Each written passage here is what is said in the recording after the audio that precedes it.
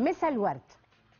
آه، وسط الهلع وعدم فهم إيه اللي بيحصل لنا في العالم كله بسبب فيروس الكورونا آه، الحقيقة أنا هستضيف دكتورة متخصصة وهذه الدكتورة المتخصصة في مجال آه، الحديثي الولادة والأطفال هي دكتورة أيضا على علم وعلى فهم كبير لطب جديد إحنا ما سمعناش عنه قبل كده اسمه الطب الوظيفي. الطب الوظيفي هيدينا بعض الإجابات الشافية عن مرض الكورونا وأيضا هنتكلم عن آه، آه، الحديثي الولادة. معانا ومشرفانا في مسا الورد آه، الدكتورة رانيا سعيد سعداوي استشاري طب الأطفال وحديثي الولادة. شرفتيني. ولأني ابتديت بالمقدمة عن آه، الطب الوظيفي. عايزين تفنش التعريف. إيه إيه الطب الوظيفي؟ أكيد. مساء الخير مساء أولا الورد. الطب الوظيفي باختصار هو طب جديد فرع من فروع الطب في, في لسه في العالم. بس هو بدأ ن- ندي نبذة عنه إنه بدأ من 1999 فهو لسه حديث بالنسبة لنا. وأخذ ذروته وقوته في أوروبا وفي أمريكا من 2005 فالطب ده بقى دلوقتي اوريدي في جامعات تدرس فقط الطب الوظيفي وموجود كمان في جامعة هارفارد وموجود في آه، آه، في جامعات كتيرة في أمريكا وفي أوروبا. آه، الطب الوظيفي بيدرس تف... يتمركز حول التفاعلات البيئية وجهاز المناعة والجهاز الهضمي والغدد الصماء. والمنظومة دول الأربع حاجات دي هي المسؤولة عن صحة الإنسان وإزاي نتفادى الأمراض ونتحاشاها. يعني لو تخيلنا بكلام آخر أو. ب... بطريقة أخرى نت- نتناول الموضوع ده.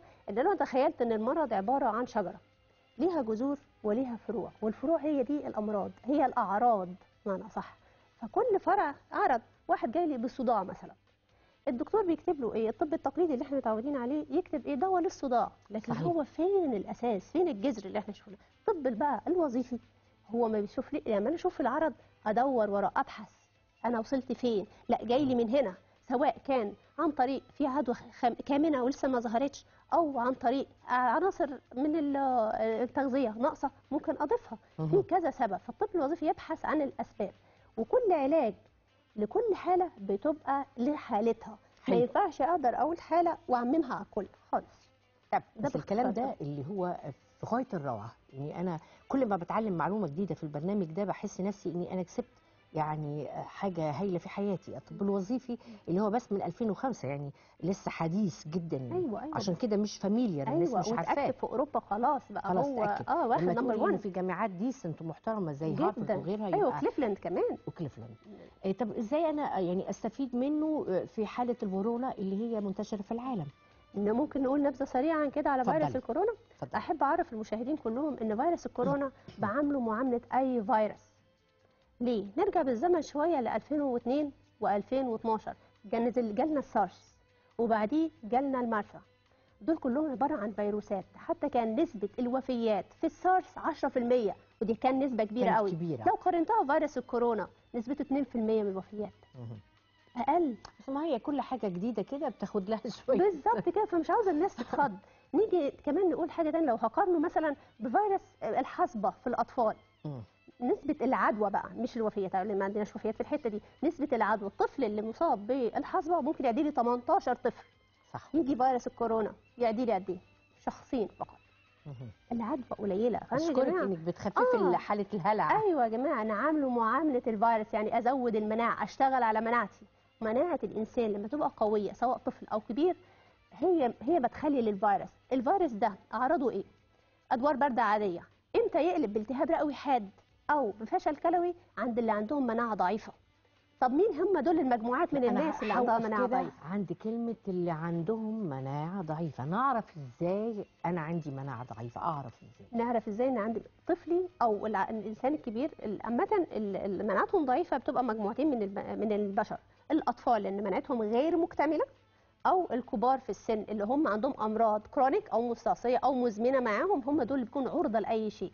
أما الباقيين بني آد- الناس البتوين بيبقوا مناعتهم قوية ضعيفه يعني إيه؟ باعيه كل شوية.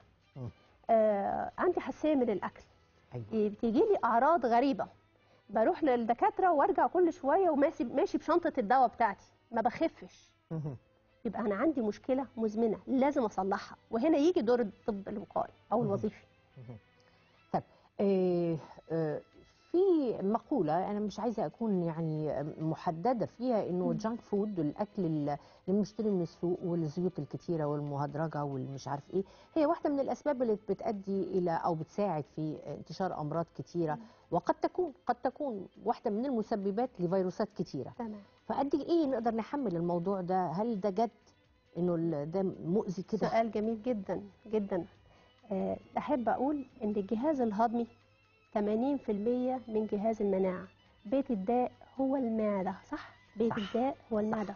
اللي بحطه في بقي هو اللي بيطلع عليا. حطيت وحش طلع وحش. حطيت حلو مناعة قوية حديد يعني بمعنى آخر أنا اديكي examples لو أخذنا سكر هي كلها سكريات؟ ما قلت junk food اهي سكر. السكر بتنزل مناعة كام؟ 50% لا ما تقوليليش أنا بتاع- مريضة مريضة حلويات. لا قولي لي تاني يعني إيه؟ نصلح ده. أنت عارفة حضرتك إن بال functional medicine اللي بيحب الحلويات نقصه بوتاسيوم ونقصه كروم في الجسم؟ أنا عندي نقص بوتاسيوم فعلا. شفتي حضرتك وصلت لك الاثنين في وقت واحد.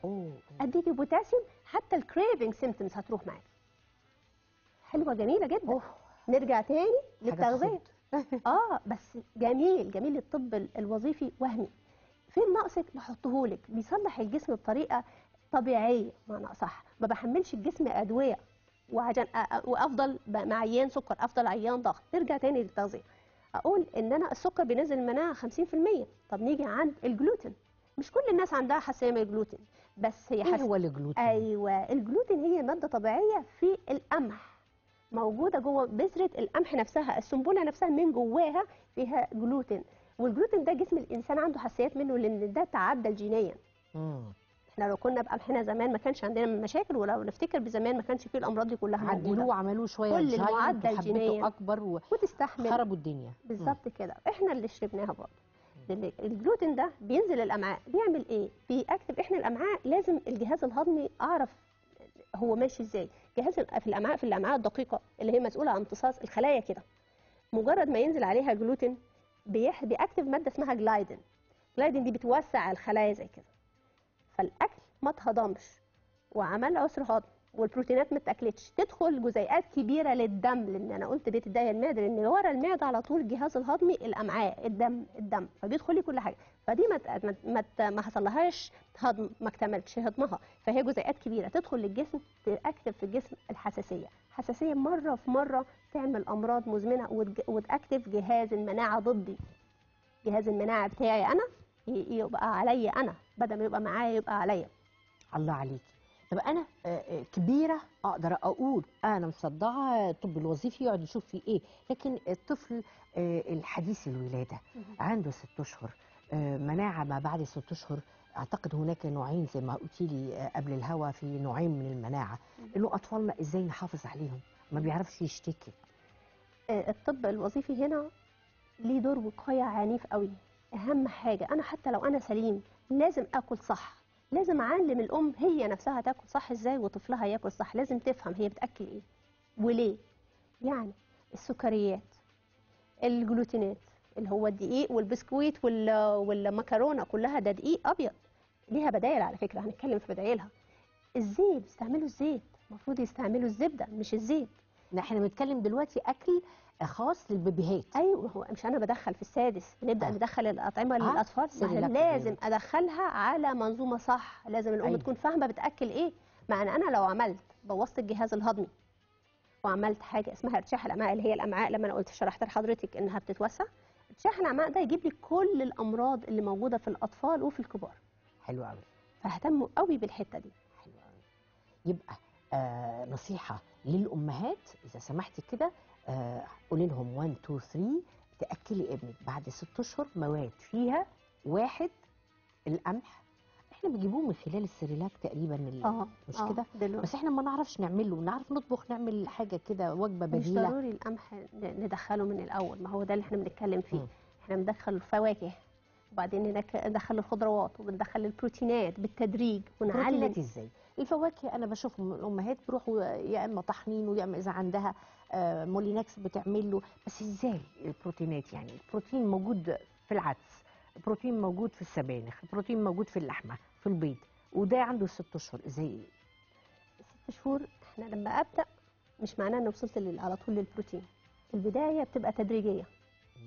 أبدأ فاكهة لمدة شهر. بعدين أبدأ الخضروات بعدها لمدة شهر والجدول بيبقى فيه فطار وغدا وعشاء وبعد كده ننتجوز البروتينات في الآخر. تمام. آه، دكتورة في آخر سؤال كنت قلتي لي إنه الطب الوظيفي بيساعد في علاج أمراض كتيرة. آه، فشل العلاج التقليدي إنه يعمل أي حاجة مهم. معاها إزاي؟ زي لو أخذنا آه، أمثلة على الكلام ده. يعني عيان الضغط عندي يجي عيان ضغط صغيرين وكبار لأن الضغط دلوقتي موجود في الكبار والصغيرين. صحيح.